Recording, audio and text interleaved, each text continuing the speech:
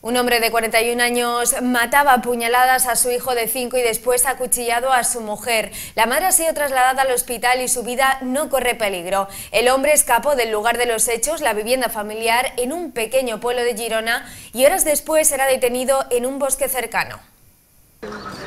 Los mozos de escuadra han detenido a un hombre por presuntamente matar a su hijo de 5 años y herir a la mujer este miércoles de madrugada en una vivienda de Belcaire de Emporta, en Girona. De este modo, los mozos han recibido la alerta del incidente grave antes de las 5 horas y se han desplazado hasta el domicilio, donde han encontrado al niño y a su madre apuñalada. El alcalde del municipio, Josep Molinas, ha explicado que no constan denuncias previas en la familia y ha indicado que desde el ayuntamiento ya se han puesto en marcha. Pero sí que como ayuntamiento hemos uh, activado los protocolos de, ayuda, de soporte para las familias, amigos, uh, gente próxima. No había denuncias, en ningún caso de servicios sociales, no nos consta nada, entonces uh, nos, ha, bueno, nos ha asustado mucho y por parte del ayuntamiento estamos aún hablando, pero probablemente esta tarde vamos a hacer, vamos a decretar un minuto de silencio y tres días de duelo. Por otro lado, la ministra de Igualdad, Ana Redondo, ha condenado este terrible suceso y ha expresado que desde el gobierno están muy preocupados. El ministerio está presente